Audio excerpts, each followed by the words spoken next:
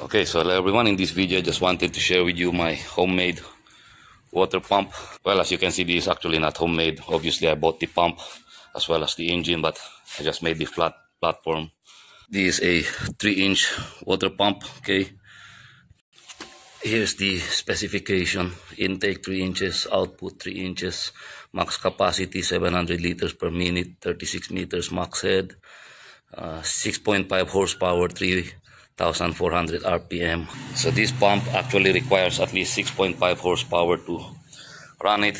But this engine is a diesel engine, air cooled, is actually 18 horsepower. Now, if you ask the question why I opted for a much bigger engine, because I generally needed a water pump as well as a generator. So I figured instead of buying a separate water pump as well as a separate generator, I might as well make a two-in-one machine. You know, one engine with a water pump as well as a maybe here or somewhere a generator. But as of the moment, I still cannot afford a generator, and I already need the water pump. So hence, I already made this. So I intend to buy a at least a 7.5 uh, kV generator or maybe 10 kV. That's why I opted for a much more bigger engine.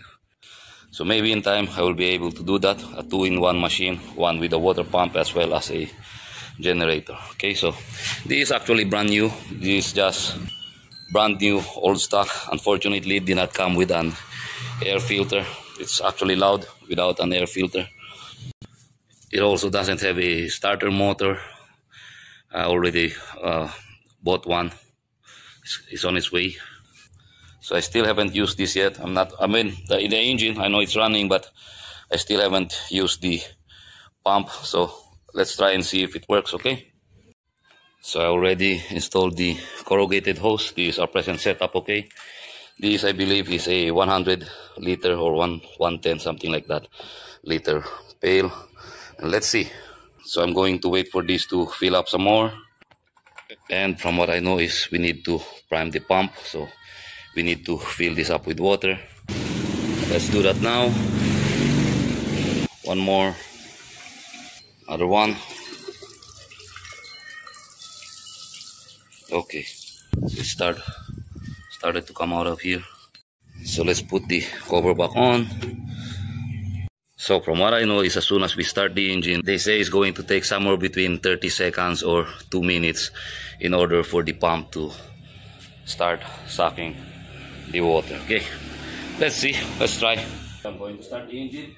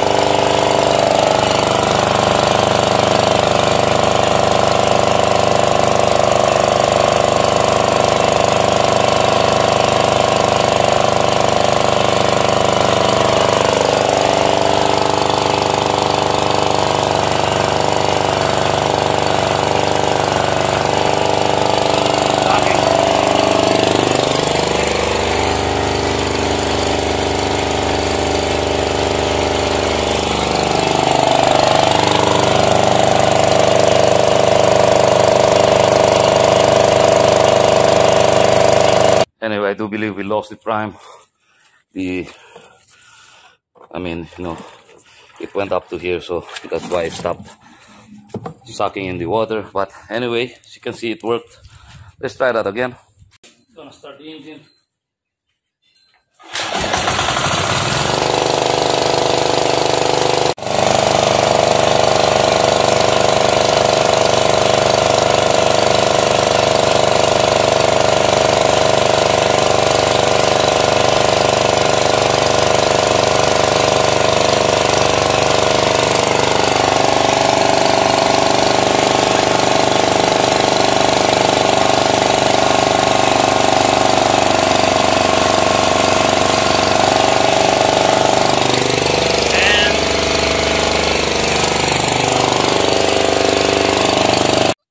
uh, it took a while for the pump to actually be primed or the pump starting to suck the water but when it began to start do that it just took seconds. I do believe i don't know maybe three five seconds to suck that out. So a hundred liter uh, pail.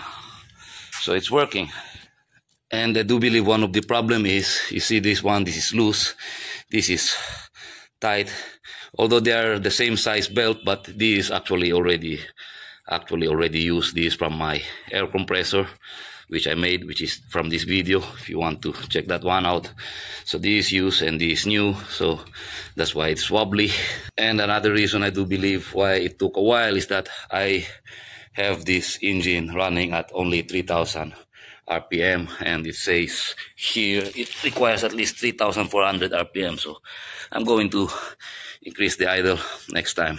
But the way it sits now as you can see yeah it worked. So I'm quite satisfied with that. I'm quite happy. So I did some more testing off screen and I added this blue okay this is a blue hose collapsible hose which I just cut out of here. This is supposed to go on here okay? You can install collapsible hose on the outlet side but you need a corrugated hose on the uh, inlet side okay? Because this would collapse. Uh, you won't be able to suck in water or draw in water if you install this here. And this more expensive. I cut a piece of this and installed it here and it allowed for a much more better seal. I tried it off screen and within I would say 30 40 seconds it started drawing the water because uh, there's no more leak. And within 30 40 seconds like I've said it started drawing that water. So that's it. And before I end this video I just want to share this video okay? You see this is the tensioner so that I could adjust the the tension of the belt I've got two so that I can adjust it this way or that way because the more you have this pulley aligned with this pulley, the less vibration you're going to have.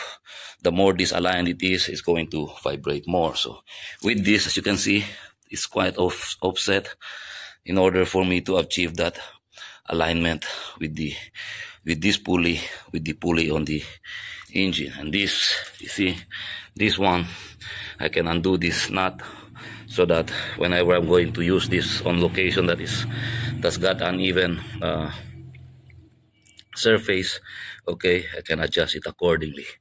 And I also have wheels there because this is actually quite heavy okay?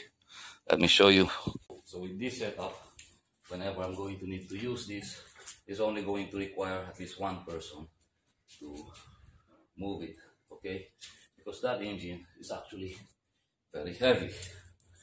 So anyway i do believe that's it. Just wanted to share this with you maybe i'm going to do an update video when the air filter is going to arrive. We're going to test the difference as to loudness without an air filter and with an air filter.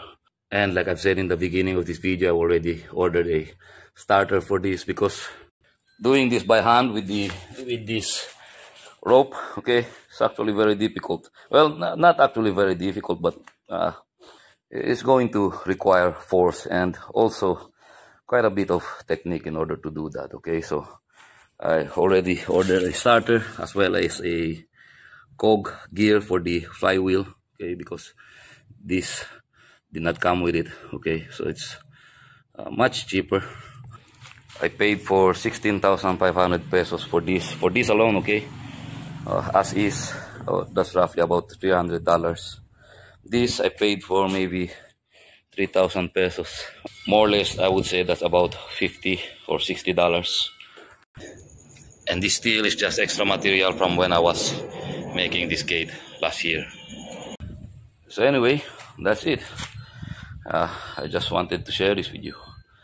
This is what I've been up to. So thank you for watching